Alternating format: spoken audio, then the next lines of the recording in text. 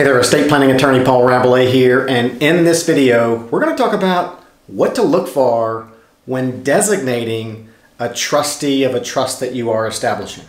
All right, so every trust out there has a trustee. That trustee's role is to manage the trust assets, make distributions, account to the beneficiaries, and it doesn't really matter why you may be setting up a trust or why you have set up a trust. Maybe you set up a revocable living trust and you need to designate who's going to be the trustee when you pass away to make those distributions to your beneficiaries.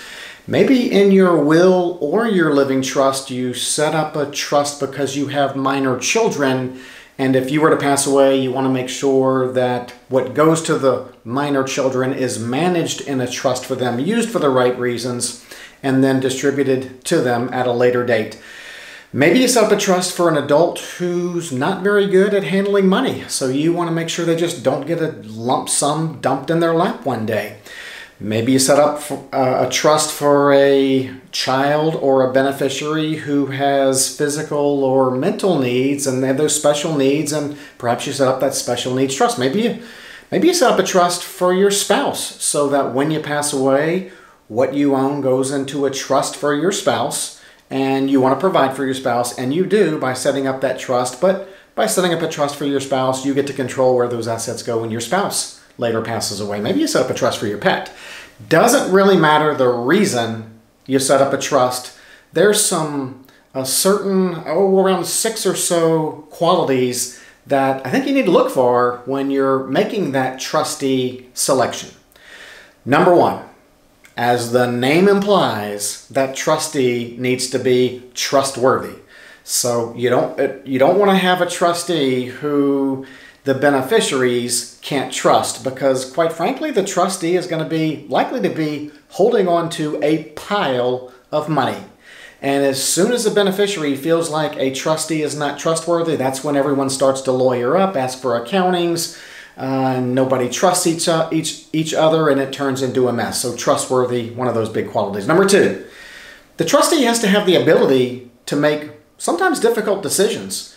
So you may set up a trust for your minor children and say, I designate so-and-so as the trustee and I give my trustee the discretion to make distributions to or for my children for their health, education, maintenance, and support. But I don't want my children getting the money. They'll, you know, they can have half of it at 30 and the rest at 40.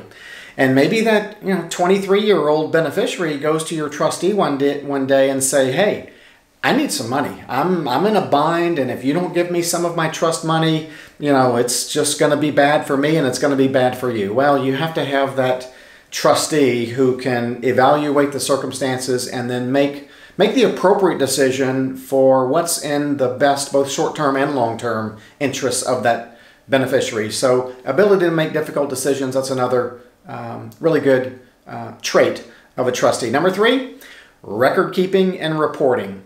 Most trustees have a duty every year to account to the beneficiaries. Hey, at the beginning of the year, what was in my trust? And how much income did my trust have during the year? And what were the what were the expenses that my trust had, and then at the end of the year, how much was there. So every year, those beneficiaries typically, depending upon the terms of the trust instrument uh, or trust law, those beneficiaries are entitled to a trust accounting. So you need to have a trustee who has good record keeping, reporting skills. They can keep track of things. They can stay organized. That's important. Again, as soon as there's a failure to account to a beneficiary, you know, everyone starts distrusting others, and that's when things start to unravel. A fourth decision is what's the what's the cost of that trustee? Cost isn't shouldn't be the the driving factor on your trustee selection, but it's a factor. So, and it's not necessarily that individual corporate tr individual trustees are cheaper or less expensive than a corporate trustee. A lot of individual trustees, whether it's family, friend, professional advisor, uh, you know, oftentimes they have rights to compensation, and so it's not necessarily less expensive to use an individual than it would be some some bank or, or corporate trustee. So just be aware. Uh, sometimes people create trusts and say if, if if an individual is the trustee, then I direct that they serve without compensation except for reimbursement of expenses. So be aware of the cost factor. Number five, financial management expertise. Many, many trusts are, are you know, it's just a, a pile of investments. So there might be a trust, there might be a $400,000 balance in the trust account. The account is likely or often is held at a, a brokerage firm. And so that trustee has the one to make all of those investment decisions. So it does make sense for the trustee to have you know, at least an average level of financial management expertise, understands the difference between stocks and bonds and mutual funds and, and income and capital gain and those types of things. The number six is I'm going to lump in all these together, but you need to have a trustee who's honest and reliable and can provide that consistent level of service. So many trusts last for years. For example, a parent may pass away with a 16 year old child, and there may be a trust that stays in effect until that child reaches the age of, let's say, 40. You know, that's a 24 year term for that trust. So you need to have a trustee who's going to be there for the long haul, can provide that uh, service consistently, doesn't bail out for months at a time. So that honesty and reliability and service consistency is another important factor when selecting a trustee. I think too many people make their trustee selections based on um, this person's, I, I, like this person.